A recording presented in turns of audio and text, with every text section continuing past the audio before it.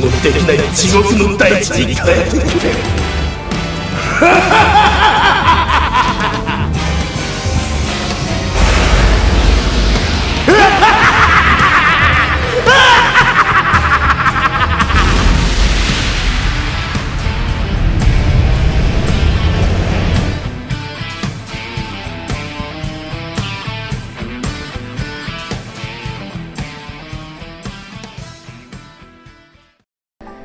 皆さん、こんしましま、ニャンティスの新猫好きです。ゲッターロボ大決戦実況プレイやっていきたいと思います。えー、前回はですね、えー、百鬼帝国最後の日っていうことで、えーまあ、ついにね、あの、ブライ大帝と、えー、百鬼帝国をすべて倒しました。えーしかしね、あのまあ、ブライ大帝の最後のね、まあ、悪あがきというか、まあね、あの、あと、ウザーラの攻撃が、こう、まあ、地球に放たれて、そのまま、ね、ちょっと、人が住みづらい大地になってしまった、みたいな感じになったんやけれども、その後のストーリーやね。じゃあまあ、今回も乗り換え、今回どういう風にしたか見ていきましょう。ね、えーまあ、前回はね、あの、ゲッターロボ G に、まあ、龍馬とみちるさんと弁慶を乗せてたわけなんやけれども、今回はね、あの、まあ、新ゲッターに、の方に乗せ替えました。で、シャムコをちょっとゲッター5に乗せて、5も多分シャインスパーク使えるんじゃないかなと思うんで、えっ、と、ちょっとゲッタードラゴンに乗せて、5のバージョンのシャインスパークも聞きたいなと、多分聞けるはず。で、次もなんか海ステージみたいだから、あの、ね、キングダムをまた乗せてます。今度はね、あの、ちょっと体力高めのサム乗せてるんで、まあ、ちょっとは強いかなということで、えーこんなもんかな。えーロボストーンにしております。シャトナーでまあいいか。とりあえずダメージ受けても HP 回復で、ね、あの、回復してくれるし、うん。とひとまずこんなもんだね。さて、じゃあまあ、今回のステージ行っていきましょう。第12話、プロフェッサーランド登場プロフェッサーランドってあの、ゲッターロボ5に出てきとった敵よね。ブライの、そしてウザーラの最後の力によって地球の環境が激変する。荒果て荒廃した大地を前に新たな戦いが始まろうとしていた。本当にね、厄介なことするよ。ねえ。どうしてくれるんやっていう。博士一体何が何が起きたんですか？人類史上最悪の事態かもしれんなんかすごいあの、空が白黒白黒なってる。白黒じゃねえや。黒くちょっとなってるな。ウザーラの発した光は重力を瞬間的に遮断し地軸を逆転させる兵器だったのだ地軸を逆転させる。なんかこう、夏の季節なのに冬みたいな、そんな感じになっちゃうのかな。幸い地軸の逆転は免れたが地球の軸は傾きその影響で地殻マグマが激しく変動を始めておる。えー、じゃあ、地殻マグマが近くまで来てるの？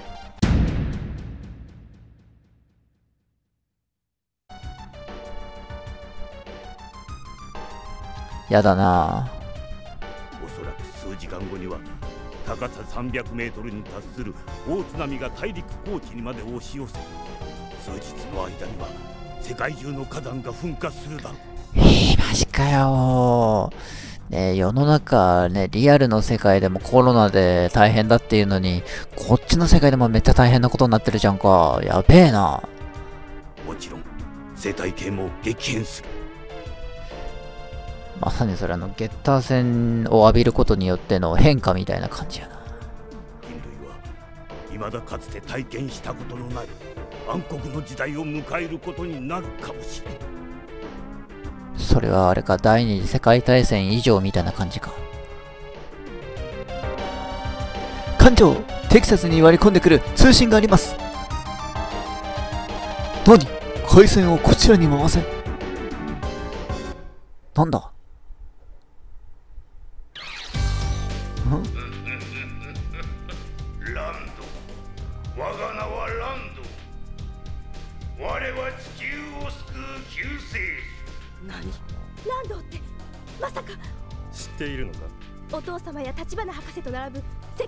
のゲッター戦研究者権威だった人物です。あの時の衛星ゲッタービーム砲もランドの仕業か。その通りだ。鬼の手により地球は大きく変わろうとしている。時は来たのだ。我にひれ伏しそして従え。再び原始へと帰るために。ランド兄よ。新一兄さんをどこにあった？新一兄さん？ランドは優秀な科学者だっただから兄さんは父の元を離れランドの研究所で研究を始めた。しかしランドはそのあまりに危険な思想のため学会を追放させられたんだ。その時兄も一緒に行方不明になった。危険な思想ゲッター戦は進化を促す超エネルギー。ランドはゲッター戦で人類を強制進化させ新たな生命を生み出そうとしていたんだ。それも今では過去の話だ。貴様たち連合軍には特別に兵を向けてやる。新一のこともそいつに聞くがよいあとは存分に楽しんでくれたまえ。ランド。いやなんという、そういう立場になったんや、あいつ。なんかめっちゃなんか、なんだ？恐、恐竜帝国のメカみたいなのも出てきてるぜ。えっ、ー、と、ワーク艦長テキサスが何かに囲まれてます。何？何かが攻めてきたのか。おお兄さんあれはメカザウルス？それとも百鬼獣？なんか、両方いる？そんな、恐竜帝国も百鬼帝国もいなくなったはずじゃ。まさかランドがあの、こう回収して改造したんか？おい、艦長一体どうなってるんだ？まさか、これがランドの？驚いたかね？連合軍の諸君。ん？なんだこいつ。なんかバカ殿みたいなやつが出てきて。誰だ？私の名はラセツランドー様の命によりテキサスを破壊させてもらう。ラセあなんかいたような気がするな。なんか女っぽいやつ。ねアニメのゲッターコードも確か出てきとったような気がする。こんな声だったっけ？ランドですって？なんか、ヤンボー、マーボー、天気予報みたいな名前しやがって。じゃあ、なぜメカザウルスや百鬼獣が一緒にと、死を失って路頭を迷っていたようなものでな、教えてやったのさ。新たに使えるべき救世主、ランドー様の存在を。ああ、やっぱ残党なのか。まあ、ちょっと改造する必要があったがな。それあれか、さっき言ってたの、人間を強制進化させたみたいな感じの感覚でやったんだろうな。そ、そんな楓の顔ぐら。そういえば、そちらのお嬢さん、立花真一をお探しのようだな。知っているのか？一体どこに？新一兄さんをどこへやった？教える必要はない。ここにいるのだからな。えー、もうご対面？新一兄さん。なんかすごい坊主だな。ハゲなん？兄さん。新一兄さん。無事だったのね兄さん。でもハゲてる。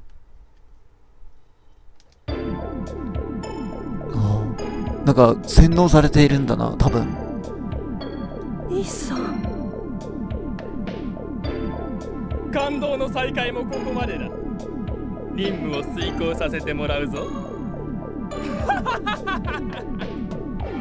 改造されたんや。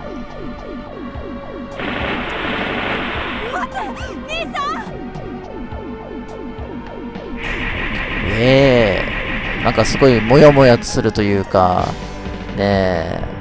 せっかく会えたのにみたいな感じだな。よし。じゃあまあやっていこうか。全体マップあーやっぱ海の方にもやっぱりいるな。あそこにポツンと立ってるのがちょっとかわいそうだが。まあいい。今回のクリア条件は敵の全滅敵の属性を思い出せ。あーこれ今までのやつね。多分これはあれだな、あの、メカザウルス、あの、水中に強いメカザウルスと、これは、なんだっけ、あの、あれか、あの、ピクドロン、ピクドロン。で、これも、えー、っと、あ、この辺大体恐竜帝国の機体やね。機体で、この黒いやつは何だろう？これは百機帝国のね、巨来機と鉄鋼機やね。鉄鋼機、これも一緒か。一緒で、これも一緒か。これも一緒か。なるほど。ここ、あー、こいつか。よし、じゃあまあ、とりあえず、あれだな。合体の、ポジションに立つまでカットしておこうか。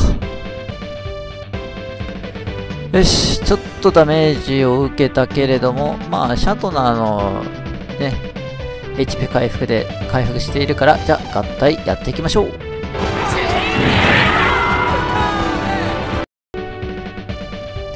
よし完了ということで、そうだな。じゃあここに溜まっているやつを叩くべきか。もう早速サムの、ね、あの、潜水艦援護で一気に叩こうか。ほい。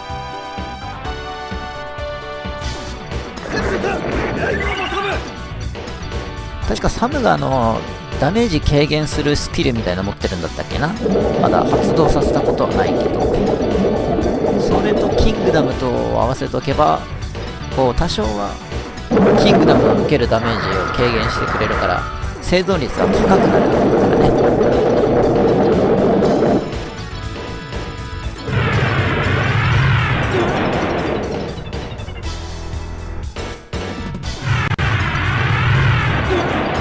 うん、結構高いっすね。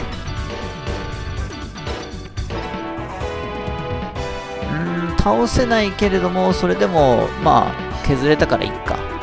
じゃあ、マグフォースサンダーで倒そう。シャムコ言ってくれよ、マグフォースサンダーって。言ってほしいな。言わないか。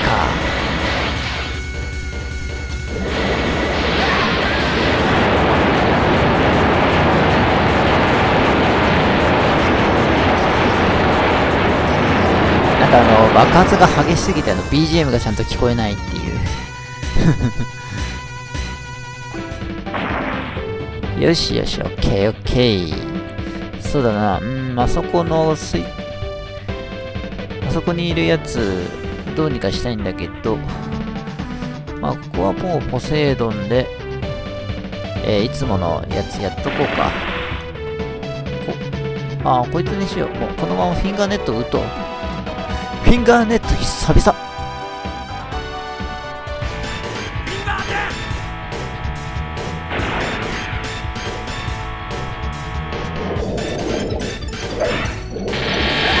補正は2倍だからね。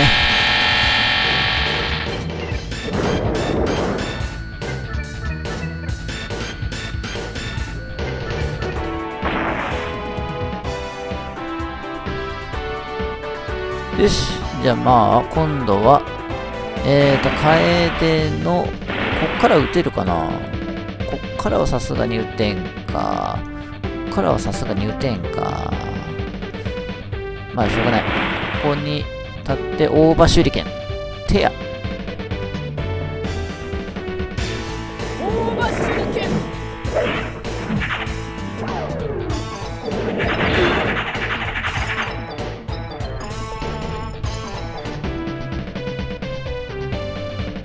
よしよし。じゃあ今度はえー、っとゲッター1で。えー、っとそうだな。海補正が高いやつをでなるべく攻撃しなきゃいけないから、まあ、トマホークブーメランでいっとこう。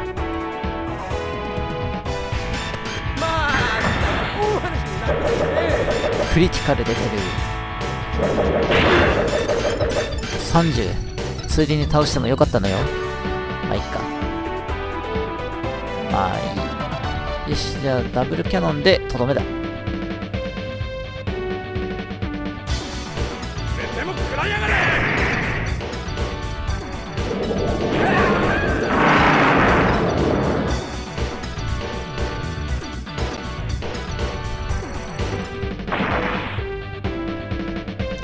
小尖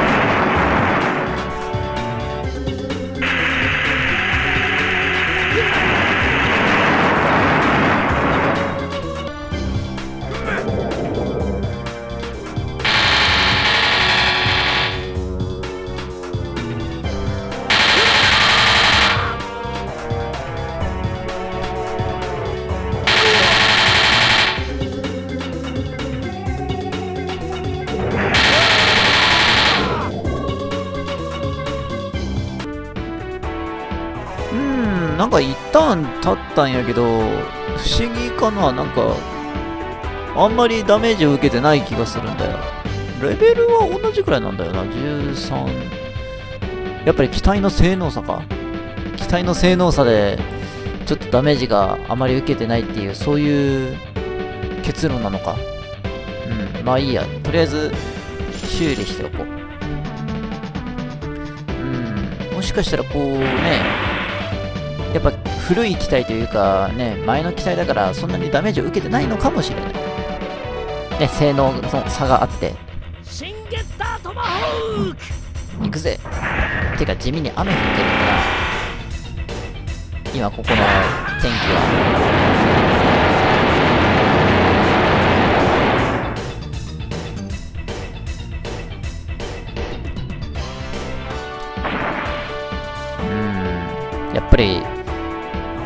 弱くなっているというか、そういうことなのかな？うん。そうね。じゃあ、楓の修羅爆雷を撃とうか。修羅爆雷。ほい、一撃倒せるかな？一撃で。倒したいな。どうしよう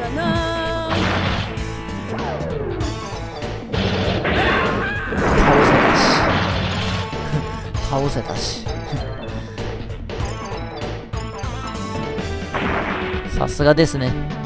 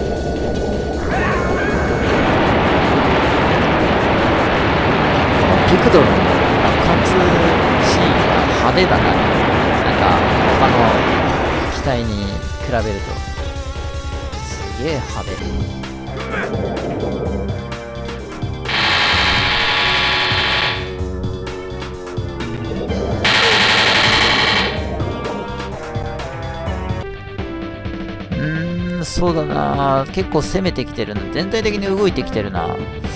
これ多分増援が来てくるんかな。あの、さっきのね、新一兄さんとやらも、多分、来るんだろうなぁと思う。俺の予想だと。そうだなぁ。ひとまず、ここね、そろそろ、あの、ゲッター3とか出しておきたいな。あの、武蔵が乗る新ゲッター3。じゃあ、ミサイルストーム撃ってみようか。ね、これも、えっと、確か、補正が200あるんだよな。だから、ね、潜水艦援護や、ね、フィンガーネットに、ま、ね、遅れを取らないぜ。てやーミサイルストームって言ったら、こう、後ろからババババって出すんだろうな。あれそっからなんだ。え、あの、後ろのね、あの、タンクみたいなところからバババババババって撃つ、あれだと思ってた。あっちじゃないんだ。違うんだ。マジか。あっちを想像してたわ。てか、こいつあれだな、あの、蛇骨だから、あれか、頭飛ばしてくるやつか。あの、自殺行為ちゃん。こんなところでまた、ね、再会するとはね。じゃあ、もうこいつはゲッタービームで一気に倒そう。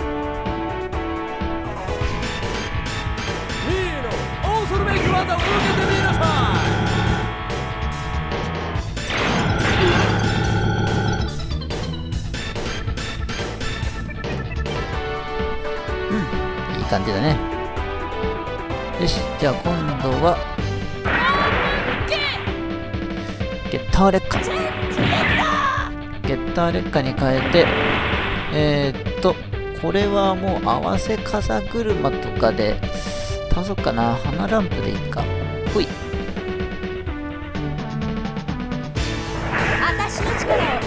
かもクリティカル出た。嬉しいね。これ確実に倒せるやん。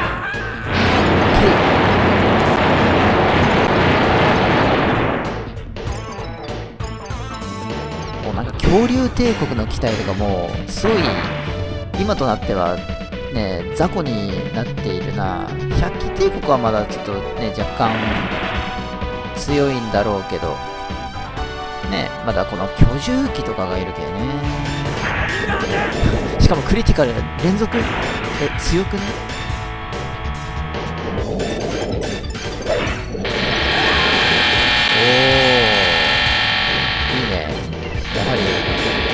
海補正200は伊達じゃないね。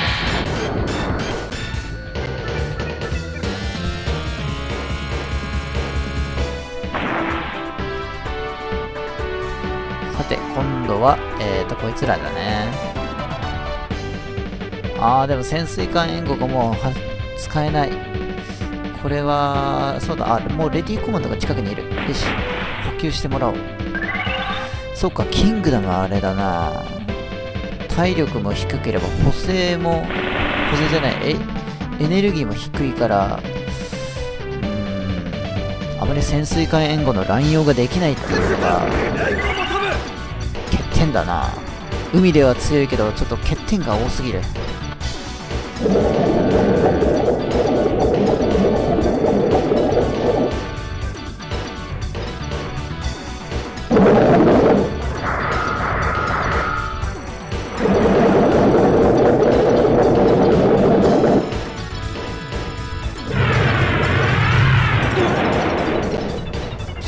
強い。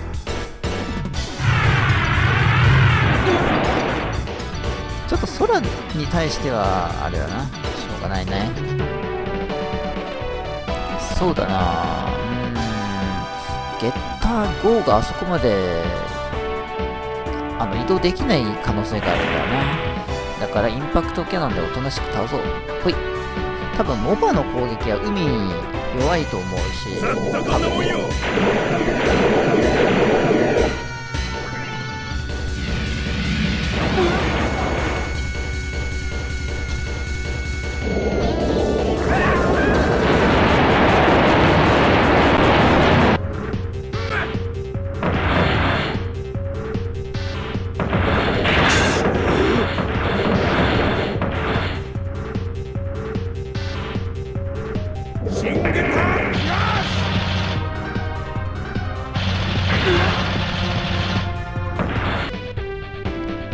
多分ふうだいぶちょっとダメージを受けてきたな。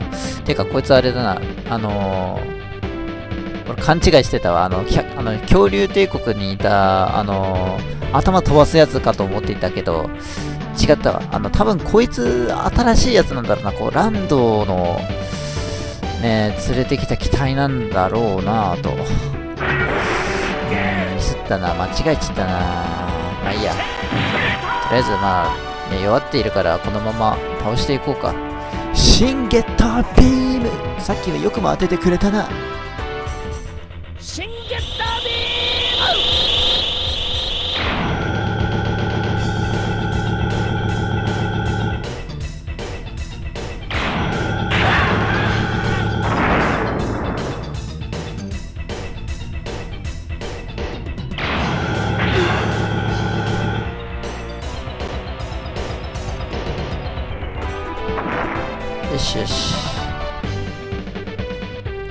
龍馬もだいぶ強くなった。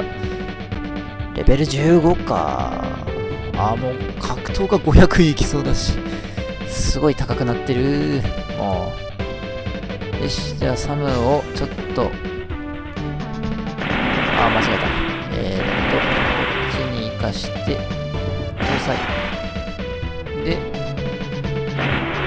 で、ちょっとシンゲッターも回復させて、そうだなこいつにヘビープレスの食らわしてやるか。ほい。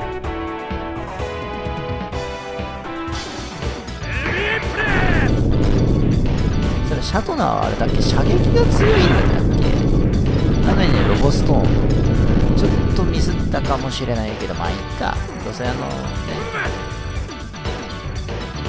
なんかすごい動きしてたな、ピクドロン。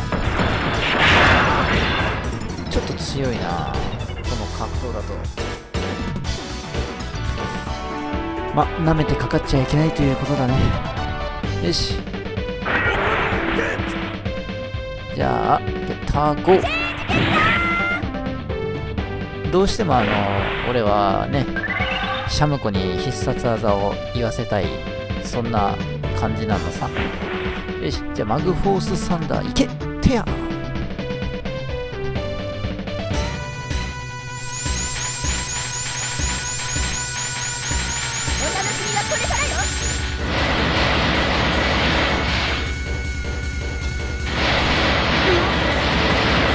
ちょっとだ。もうちょっとだな。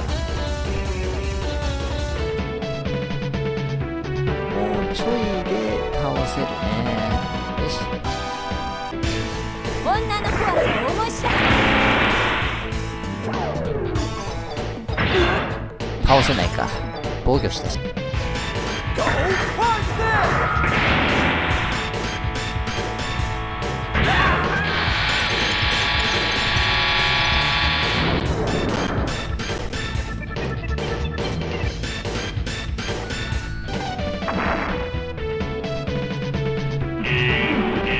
お、敵増援？おえ、なんか4体ぐらい増えた。ここか。なんだこいつら。今まで見たことない。なんだこのなんか、シルエットがすぐゲッターに似てるような。なんだ？まさかゲッターまでコピーしたのか。あ、それだったら嫌だぞ。あの、今、前に、なんだっけな、あった、ね、あの、量産型ゲッターロボとかへ来たらもう俺は嫌だぞ。あ、やっぱりシャインスパーク使える。いいね。よし、じゃあダブルトマホークブーメランでこれも倒せるな。よし。ダブルトマホークブーメラン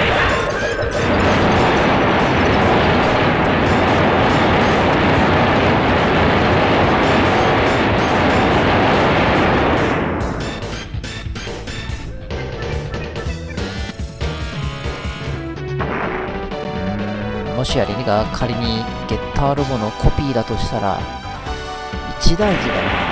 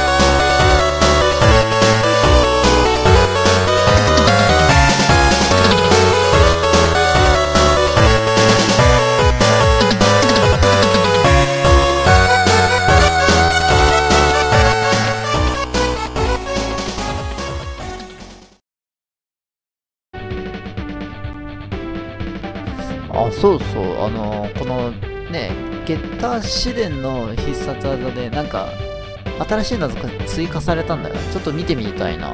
ちょっとこいつに打ってみようか。ふい、当たれよ。疾風針プーバリ。どんな感じ？おお、強い。結構かっこいいじゃん。こう、バババババババババ。めったに見ないからね、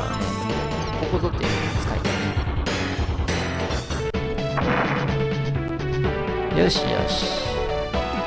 さて、じゃあ、今度はロボストーンは、あんまりダメージ与えられないか。まあいいや、ダブルキャノン打っとこう。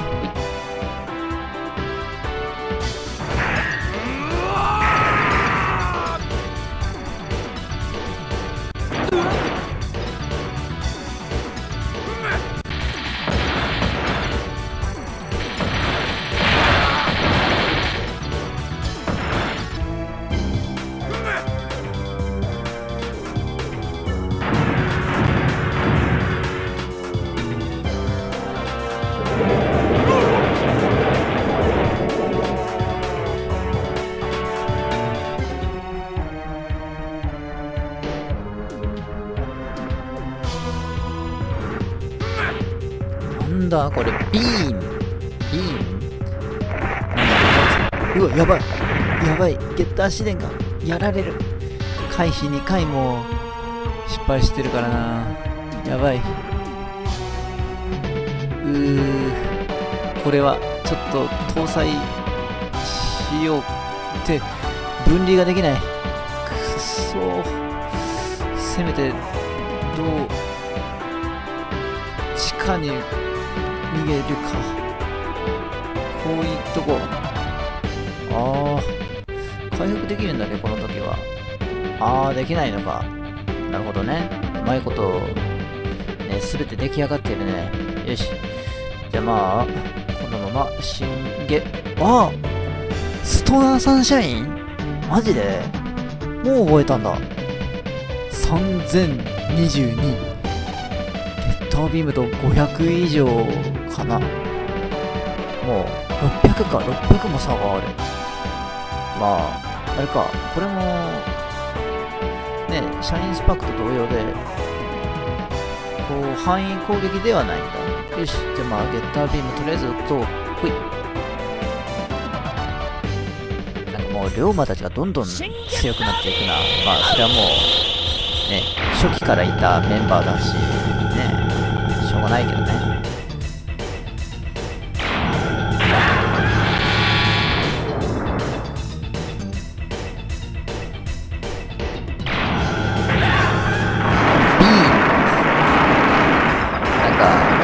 ゴーンみたいだな。なんか相方は。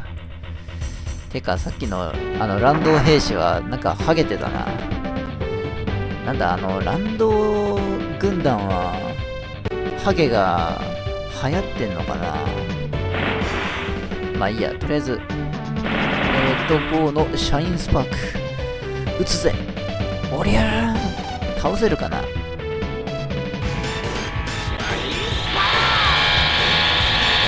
ンスパーク倒せるかなあーギリギリ倒せないまあでもしょうがないかあでも1953も与えれるんだから相当強いね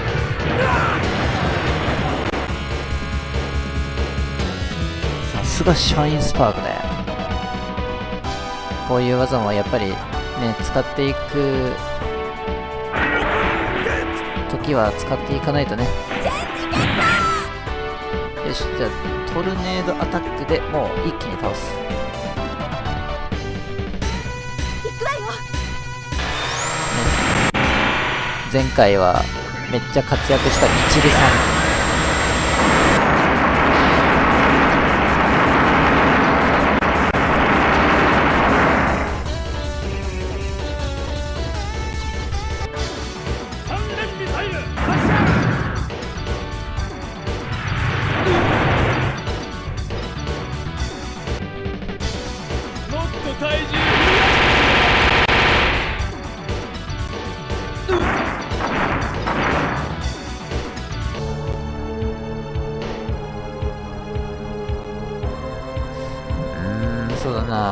技でいいか。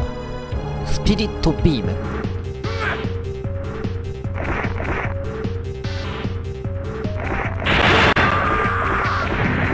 いつはそんなに強くはないけどまあ油断はできんね。500か。なんかゲッターブラストキャノンとかああいう系の武器はないんかな新ゲッター1に。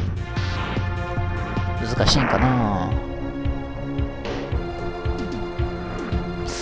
ここはもうどんどんもう龍馬の攻撃反撃でもう 一気に倒せるんじゃない？まだなんとか耐えれる。まだなんとか耐えれる。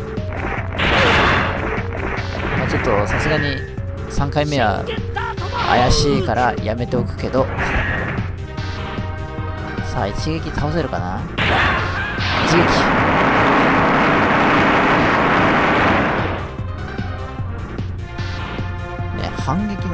能力としてはなかなか使えさすが龍馬。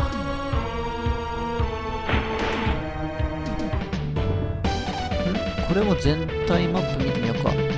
あもう2体しかいない。マジで？もうそんなに減ってんだ。マジか。いやー時が経つってのは早いもんですなほんとふうちょっと移動しまくったな。まあねそろそろ。えー、っと。あいつも海にいることだし。じゃあまあ一気に倒しましょうか。もうね範囲兵器を使いまくって。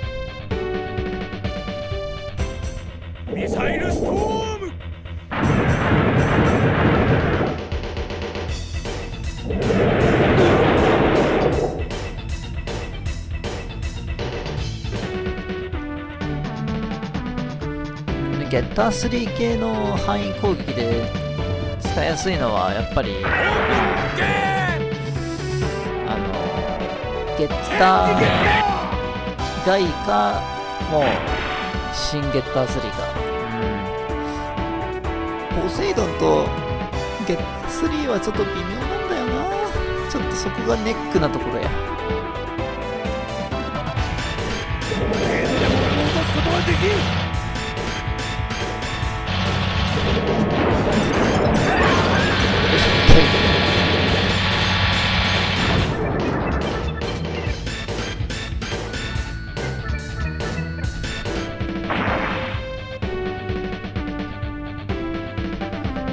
の能力がクリティカルがレベル3か。確かレベル3が一番上なんだよねこう。あ能力値のやつでね。よしじゃあ今度はこのキングダムも、えーみんなと合流させるような形にしてよしよし。いいかな。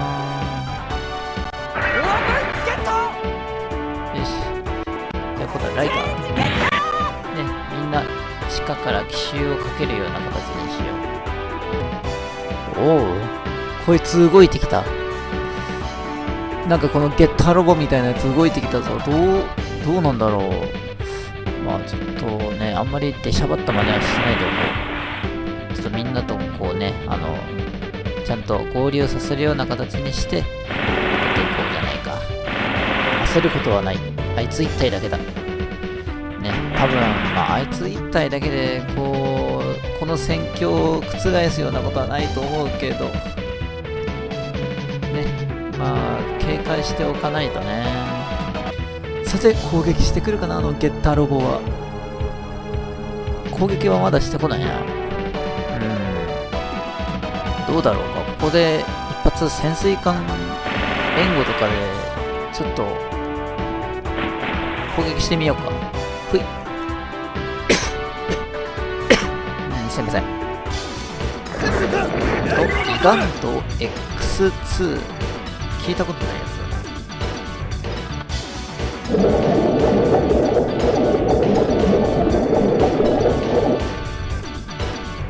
ガント X2 なんだろう。今まで出てきたっけ？ちっち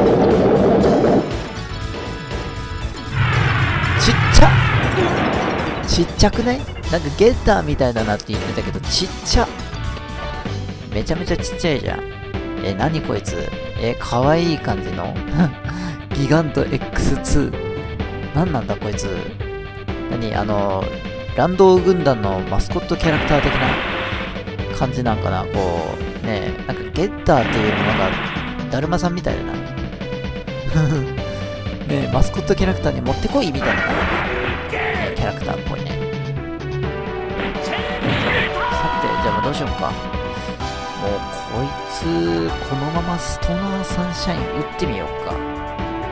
ね、あの今ここでストナーサンシャインを打つんだっていう、あれだよ。ね、ストナーサンシャインストナーサンシャインを出すんだ。ね、3つの心を一つにし、ゲッター、ゲッターを信じろハヤト、武蔵、うお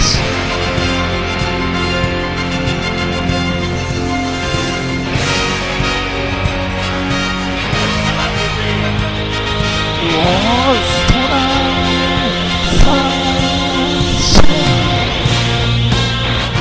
本当あのね、発光するんだね、あの、シンゲッターの、なんていうのガガラス部分というか、あの部分が、いいね。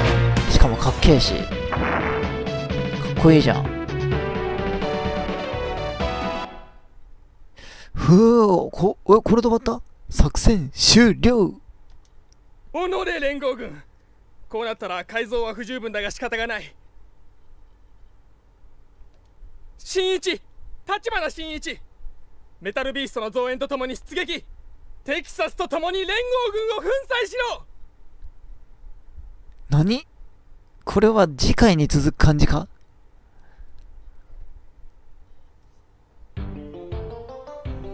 プロフェッサーランドによって改造された立花翔の兄新一。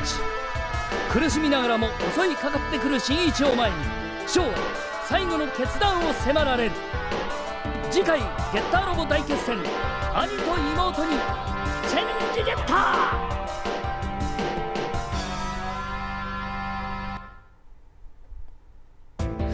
ー!兄と妹？これはあれだなこう次回はねプロフェッサーランドによって改造されたねあの新一兄さんとショーがすごいキーパーソンみたいな感じになってんのかな。うん。そうか。兄弟同士が戦うみたいな感じになっちゃうんだな。ちょっと悲しいかな。うん。まあね、どういう展開になっていくかはね、まあ、ちょっと次回なんだけれども、えーやっていこうか。ね、今回はプロフェッサーランドっていう、ね、新しい敵が現れて、ね、また新たな戦いが始まるっていうことなんだけれども、ね、まあ、まだその戦いは始まったばかりだっていう。ね、まあね、次回の兄と妹のストーリーも、えーね、お見逃しなくご覧ください。それでは、バイニャラー。